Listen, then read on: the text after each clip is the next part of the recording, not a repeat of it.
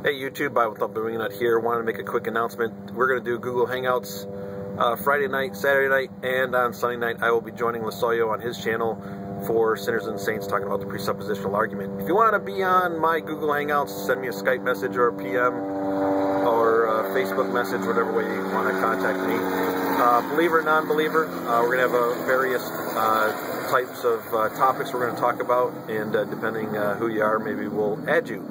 this invitation, of course, is always open to Alex Botten, who uh, seems to have um, conflicting feelings about whether he wants to interact with me or not.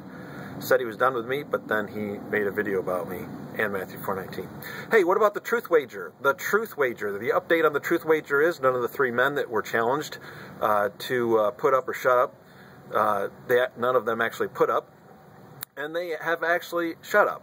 Um, the truth wager was to get Jim Gardner, Alex Botten, and Paul Baird to stop lying about Sye's interaction with Justin Brierley. Uh, all three of them said that Sye had lied to Justin Brierley concerning Paul Baird.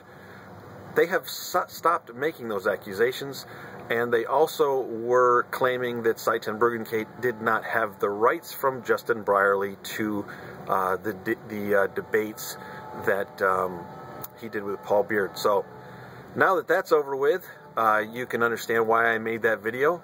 And um, whatever way those three men want to spin it, uh, they are no longer accusing Sye Ten Bruggencate of the accusations that were addressed on the Truth Wager.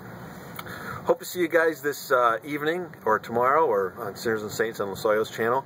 Until then, see you later.